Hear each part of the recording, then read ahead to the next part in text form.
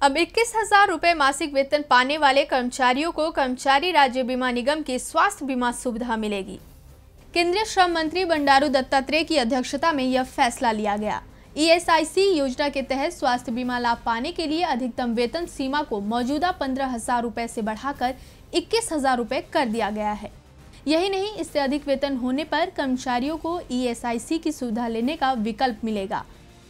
वहीं जो कर्मचारी ईएसआईसी योजना के दायरे में आते हैं, अगर उनका वेतन निर्धारित सीमा से अधिक हुआ तो उनकी सदस्यता और बीमा कवर खत्म कर दिया जाएगा। यह नए नियम 1 अक्टूबर से लागू होंगे। निगम ने यह फैसला बढ़ती महँगाई और सैलरी में हो रही बढ़ोतरी के मद्देनजर लिया है, लेकिन इस फैसले के बाद अब इस योजना में करीब 50 लाख कर्मचारी बढ़ जाएँगे। फ़िलहाल इस योजना में ढाई करोड़ से ज़्यादा लोग शामिल हैं। हाल ही में सरकार ने अकुशल गैर कृषि कामगारों के लिए न्यूनतम मजदूरी में बढ़ोतरी का तोहफा दिया था। और अब ईएसआईसी का तोहफा कर्मचारियों के लिए बेहद खुशी की बात है। देखते रहिए डीवी लाइव